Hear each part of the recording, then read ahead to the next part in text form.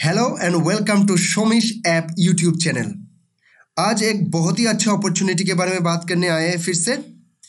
ये ministry defence ministry जो है ना, उसके तरफ़ से आर्मी ऑर्डिनेंस कॉर्प्स सेंटर की तरफ़ से ये पोस्ट है लाइक ट्रेड्समैन मेट का एज वेल एज फायरमैन का बहुत ही ज़्यादा पोस्ट से बारह सौ उनचास पोस्ट है ट्रेड्समैन मेट का और फायरमैन का है 544 बड़ा पोस्ट से हम लोग पूरा डिटेल्स में बात करेंगे कैसे अप्लाई करना है आम, हर चीज़ के बारे में हम बात करेंगे।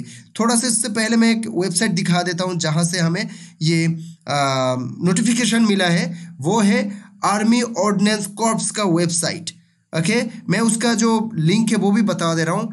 A O C R E C R U I T M E N T dot G O V dot in तो इस पे जाएँगे तो आपको जो लेटेस्ट न्यूज़ है, इसमें आपको ये नोटिफिकेशन मिल जाएगा।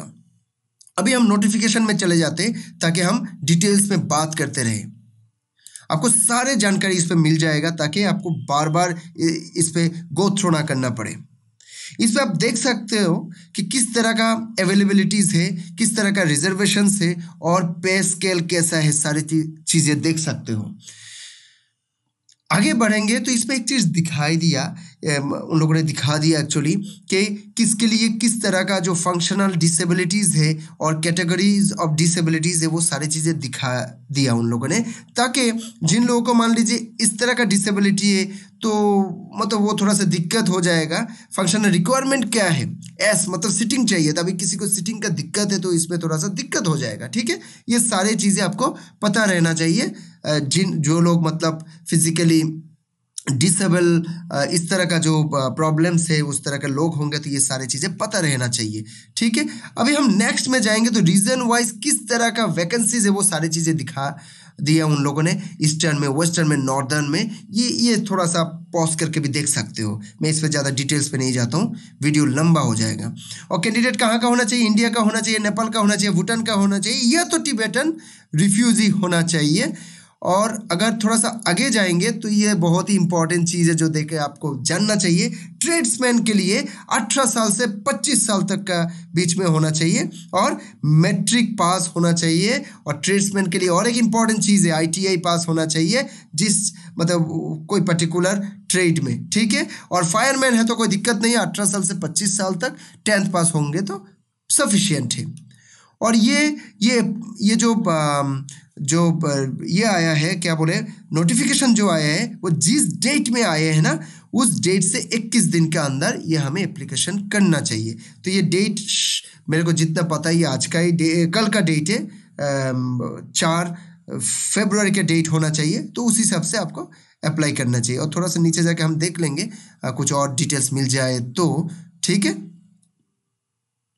और अगर बात करेंगे इसमें रिलैक्सेशन का एस सी के लिए पाँच साल का रिलैक्सेशन है ओबीसी के लिए तीन साल का है। अगर फिजिकली डिसेबल है तो उसके लिए दस साल का है। अगर ओबीसी है तो तेरह साल का हो जाएगा एस सी है तो पंद्रह साल का हो जाएगा, क्योंकि एडिशनल हो जाएगा। एक्स सर्विसमैन के लिए भी और भी बाकी सारे जो भी रिलैक्सेशन है, उसके बारे में भी इधर बात किया गया है। तो प्लीज़ एक बार आप पॉज करके देख लीजिएगा।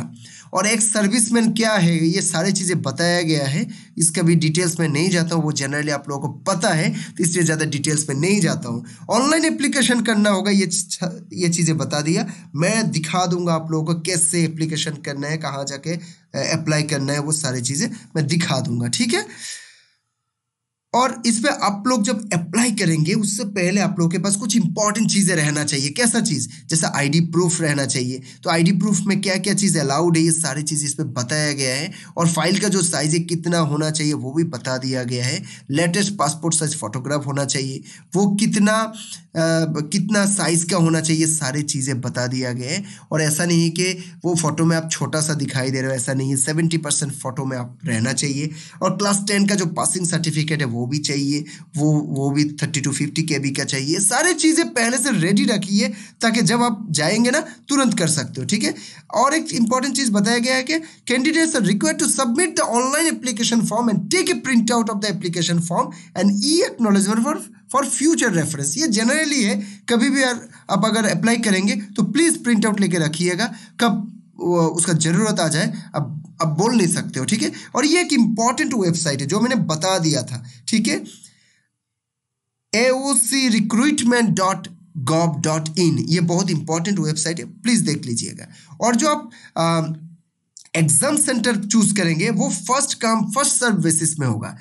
कोई अगर एग्ज़ाम सेंटर में थाउज़ेंड लोग ही एग्ज़ाम दे सकते और आप थाउज़ेंड वन बन गए तो आप उधर आप, आप अप्लाई नहीं कर सकते हो। मगर सिस्टम ऑटोमेटिकली आपको दूसरा कोई सेंटर दे देगा। इसलिए ज़्यादा देर नहीं करना चाहिए, आपको अगर अप्लाई करना है तो जल्दी से जल्दी प्लीज़ अप्लाई कर लीजिए। और ये बहुत अच्छा चीज़ है, इस इस नोटिफिकेशन में सारी चीज़ें बता दिया गया है कि फ़िज़िकल टेस्ट में क्या क्या चीज़ होगा, सारी चीज़ें बता दिया गया कि रनिंग कितना होगा और जो वेट कैरी करना है वो कितना के जी का, कितना मीटर और कितने सेकंड्स में करना होगा, ये सारे चीज़ें बता दिया गया है। ये भी आप थोड़ा सा पॉज करके देख लीजिए ताकि आपको सारी चीज़ पता चल जाए। फीमेल के लिए क्या है मेल के लिए क्या है, ये सारी चीज़ें बता दिया गया।